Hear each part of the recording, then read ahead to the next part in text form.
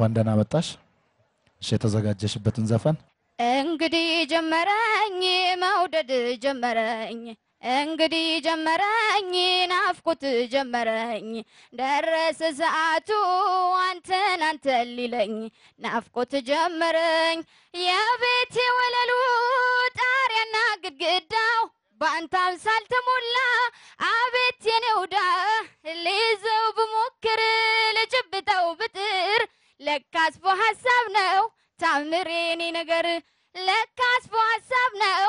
ታምሬኔ ነገር ችግሬን ልቻለው እዳዬን ልቻለው ለብቻዬ ብኖር ብዘልም አልችለው ትዝታም ብቻዬን ፍቅር ለብቻዬ አልቻልኩም ማግዘኝ እርዳኛ እህ አሄ ታጠብኩኝ በንባይ አሄ ታጠብኩኝ በንባይ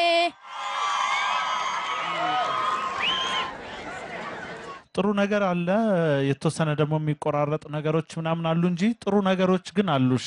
አንድ የራስሽ ቀለም አለ፣ ደስ የሚል ቀለም በደንብ ግን አሁን ለይቶ ያልወጣ አይነት ነገር ነው እንጂ አርቲስቲክ የሆነ ነገርሽ ይሄ ኪነ ነገርሽ ደግሞ እንዳለ ራስሽ ላይ ይታያል ካጫወትሽ ጀምሮ ምናምን እና እሱ በጣም ጠቃሚ ነገር ነው። እኔ እርግጠኛ ነኝ ወደፊት ጥሩ ነገር የምታሰሚን ሁሉ ይመስለኛል። አሁን ያለው ድምፅሽ ላይ የመቆራረጥ ነገር አለ።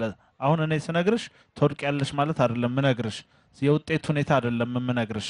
ያንቺ የሚጠቅምሽ ነገር ግን አለ ድምፅሽ ላይ ትንሽ አሁን ቁርጥርጥ የሚል የመታፈን ነገርና በድሮ ቴፕ ምሰማው ሙዚቃ የመምሰል ነገር አለ። እሱ ነገር ከትንፋሽ አያያዝ ጋር ከአጠቃቀም ጋር ይገናኛል።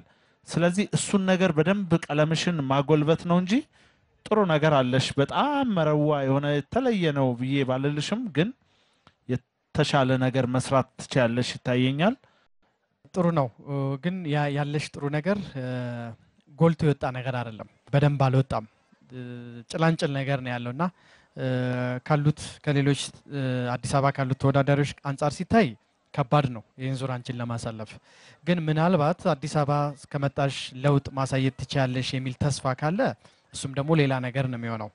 ስለዚህ አሁን ባለው አቀራረብ በተለይ የሁለተኛው ላይ ሁለተኛው ዜማ ላይ በሰማ ነው ከሆነ የሚያስከፋ ነገር አለም። የራስሽ የሆነ ደስ የሚል ለዛ አለ።